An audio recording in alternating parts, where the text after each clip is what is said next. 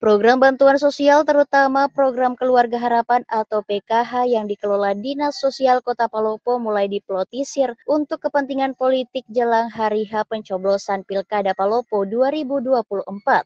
Sejumlah oknum pendampingan PKH di Kota Palopo mengancam akan dikeluarkan sebagai penerima PKH jika tidak memilih calon wali kota tertentu. Salah seorang pendampingan PKH di Kecamatan Teluanua bernama Suryanto kini diadukan ke Bawaslu Kota Palopo karena diduga mengancam penerima PKH di Teluanua untuk dikeluarkan sebagai penerima PKH jika calon wali kota yang didukungnya tidak dipilih.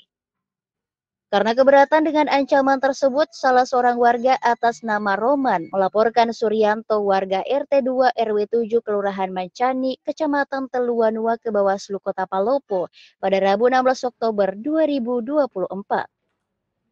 Saat mendatangi kantor Bawaslu, Roman didampingi keluarganya dan membawa beberapa saksi. Menurutnya, program PKH adalah bantuan sosial dari pemerintah pusat yang tidak ada kaitannya dengan calon wali kota. Karena itu, Roman mengaku sangat keberatan dan tidak terima diancam akan dikeluarkan sebagai penerima PKH, hanya karena tidak bersedia memilih calon yang didukung pendamping PKH. Pria berusia 64 tahun ini dalam pelaporannya di Bawaslu menceritakan pengancam dialaminya pada hari Selasa 15 Oktober 2024 menjelang maghrib sekitar pukul 18 lewat 20 Wita di depan rumahnya. Pelapor juga mengatakan jika saat itu ia sedang bersantai di depan rumah, namun tiba-tiba Suryanto selaku pendamping PKH datang meminta kartu keluarga dan nomor handphone untuk didata.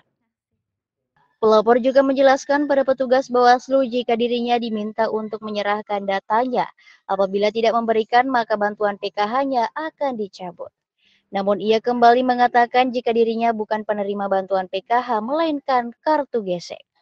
Kekurangan kan itu masalah masalah kakak. Oh, kenapa kakak?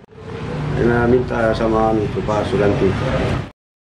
Sementara itu, menurut saksi mata Novalia saat itu dia sedang berada di depan rumahnya yang bertepatan dengan rumah pelapor. Ia mengaku jika menyaksikan percakapan antara pelaku dan pelapor. Merasa curiga, Novalia pun mengambil rekaman video singkat melalui ponselnya. Setelah itu, ia segera menghubungi anak sang pelapor, yakni Noviani, untuk memberikan informasi terkait hal yang terjadi di rumah pelapor. Noviani yang dihubungi pun merasa tak terima sang ayah yang didesak dan memaksa untuk memilih salah satu paslon. Bapakku bukan PKH, tapi kartu gesek. Selama ini kan tidak ada urusannya dengan Pak Suryanto. Selama ini dia langsung berhubungan dengan bank. Kalau memang terblokir itu kartu geseknya, dia langsung di ke bank. Bang Beni, tidak ada urusannya dengan Pak Suryanto mau serahkan kakak. Sekarang baru udah minta kakak dengan nomor teleponnya. Dia bilang katanya kalau tidak ikut dengan dia sejalan uh, itu kartunya tidak akan lanjut. Begitu ceritanya. Kalau mau lanjut dia ikut dengan dia sejalan dengan dia. Menanggapi hal tersebut, Ketua Bawaslu Kota Palopo Hairana mengatakan jika pihaknya akan melakukan kajian atau penelusuran sesuai dengan prosedur yang ada.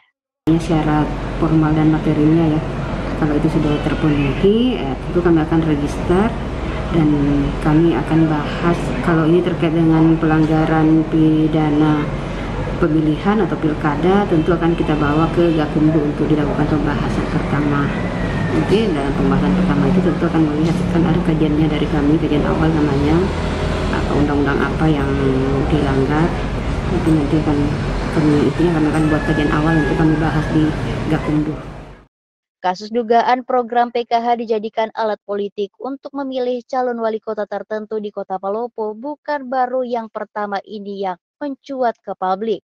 Sebelumnya juga seorang pendamping PKH di Kelurahan Surutanga bernama Suryani juga melakukan hal yang sama.